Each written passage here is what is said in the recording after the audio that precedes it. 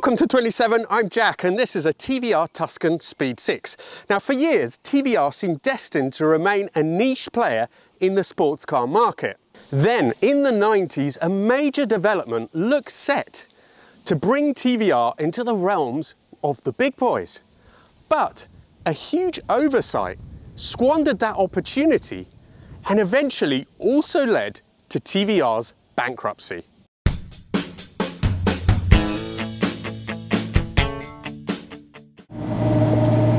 In the mid-90s, TVR came up with a load of interesting and quite appealing new cars, but even more importantly, it made two of its very own engines. Up until this point, it had been using Rover's V8 under license. It then made the Speed 8 and the Speed 6.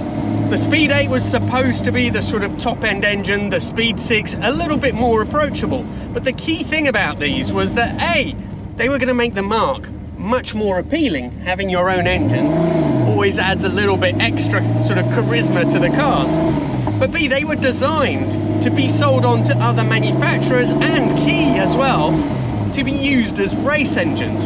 So it could have really turned TVR's fortunes around, not only producing cars, but when you start selling your own engines as well, it could have really stabilized their financial position. This car has the Speed 6. It is a fabulous engine that, however, was largely responsible for TVR's insolvency later on, along with an unexpected challenger from Germany. More about that later, but first a bit more about this incredible engine. It has individual throttle bodies, a dry sump, it's an inline six, and it was designed by Al Melling. It has a lot in common with the 1991 GSXR 750, the Suzuki Superbike. It has finger and follower actuation for the valves. And that's really important because unlike Bucket and Shim, as you can see in this animation, it's got much lighter, smaller moving parts. Not only that, but it allows for a more aggressive cam profile so that essentially you're going to get more power out of the engine. In 4 litre form, in this car, it puts out 360 horsepower. The car only weighs 1,100 kilograms, so it should be pretty feisty. And it all sounds pretty perfect. Let's take it out. I'll tell you what went wrong and importantly, how it drives today.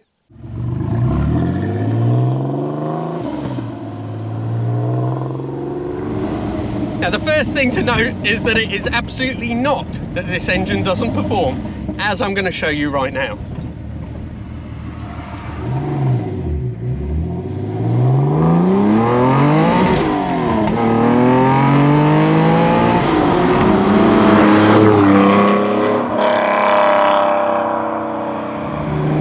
this thing is a real handful. So wheel spin on demand in at least first and second gear.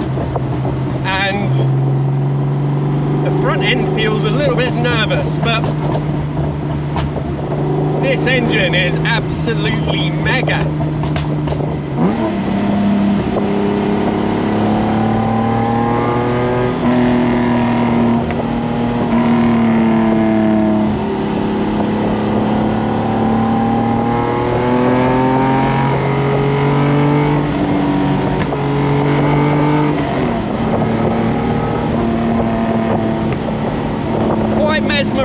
By this beast, this beast of an engine.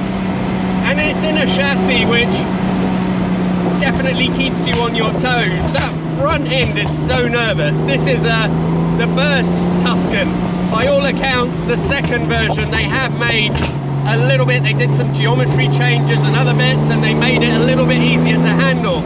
This one is super sharp, super nervous. As soon as the road smoothens out like it has here, it's miles better. But on that first bumpy stretch of road, it felt like a really, really big handful, this car.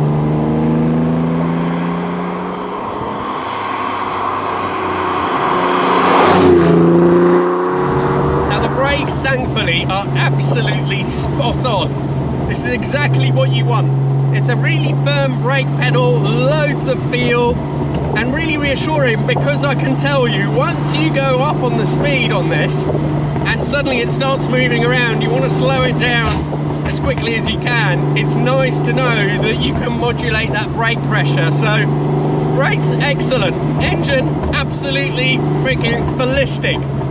Chassis, let's drive it a bit longer, but at the moment it feels like that front end is way too nervous. In the meantime, we have a slow car in front of us. Let's talk a bit about the looks and the interior. To me, the Tuscan was never really a pretty car. I absolutely admired and was all for the fact that they were so bonkers with it. And this Series 1 has some detailing which is even crazier. They toned it down a bit in the Series 2 with the covered headlights, more conventional rear headlights. So, okay, might not be the prettiest thing, but absolutely amazing. Well done, I love it all the same. And the interior, my God, this dash pod panel. It's like a, I don't know, it looks like a squid or something has been splattered on there. But then you know, it's milled aluminium, and then they have this lovely sort of brass looking switch gear. It is just these ventilation controls here on the sides. These little eyeball vents there which direct air straight to your crotch. just mental. I mean, I love them, but how could you do that? It is just mad in the truest TVR tradition. And again, in the Series 2, it was sanitized. So I'm glad I got to drive the full fat version of this car. Other amazing things, that's where the door button is to open the door.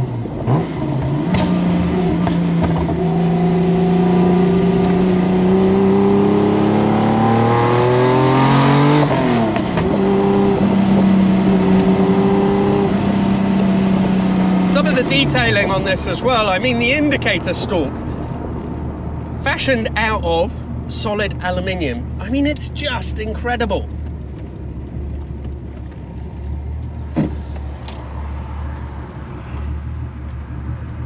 Okay, I'm a bit scared, but let's just do another pull with this mental engine.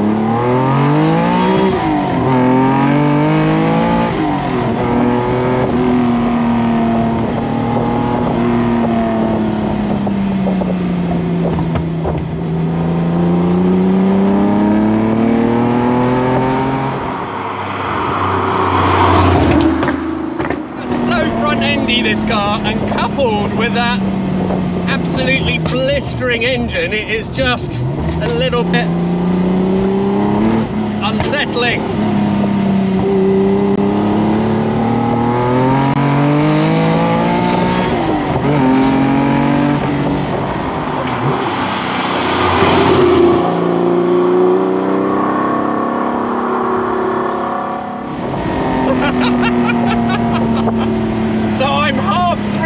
half scared shitless to be to be totally upfront.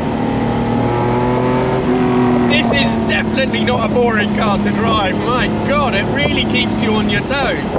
Uh, yeah, you can poodle around in it. It's quite drivable. The gearbox is really easy, nice and short, nice and light. Steering is quite light, and when you're pootling around, it's not really too intimidating. But the moment you push that long travel throttle down, all hell breaks loose. This is probably the craziest car I've ever driven, and let's be honest, the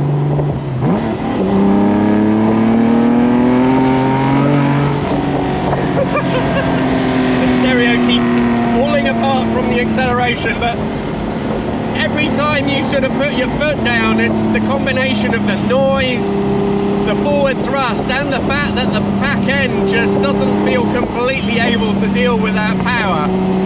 It's an interesting, intoxicating combination.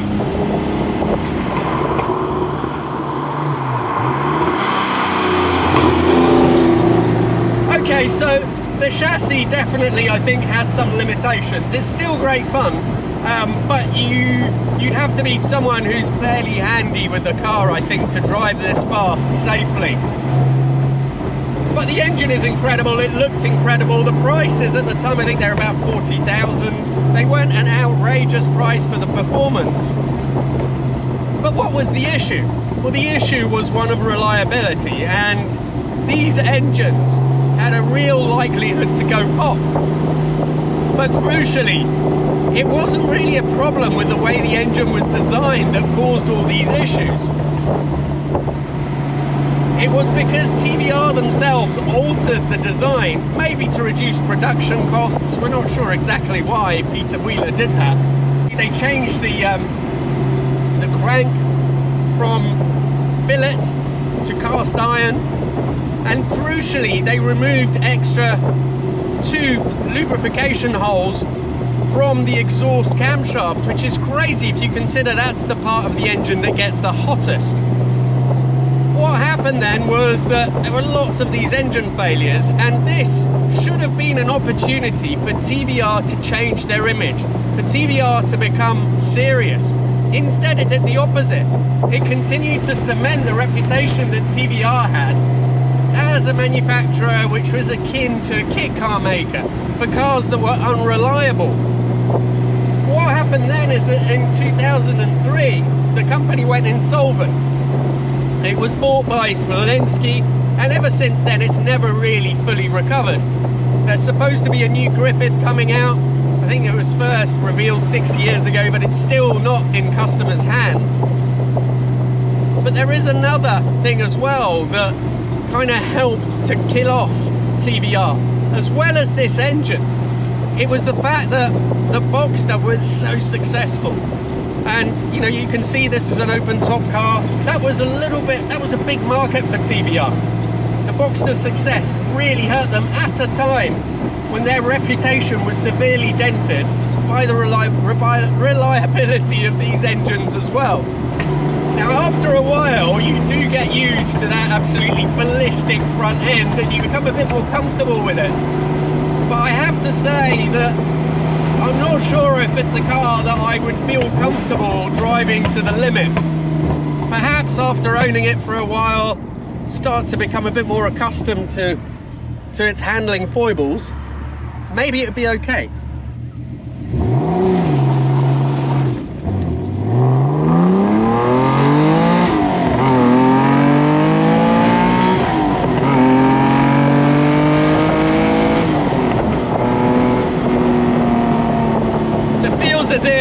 maybe the tyres have warmed up a little bit.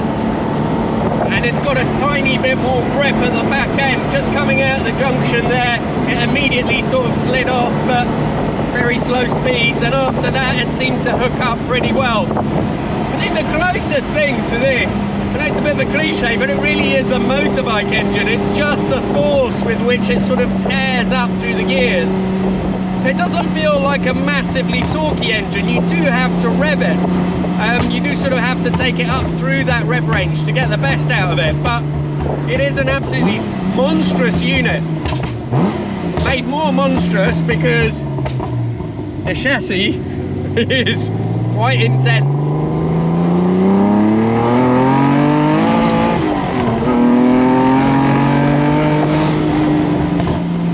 The crackling on the overrun there I'm not sure I'm a massive fan of but uh, apart from that, it sounds mega, although very, very loud.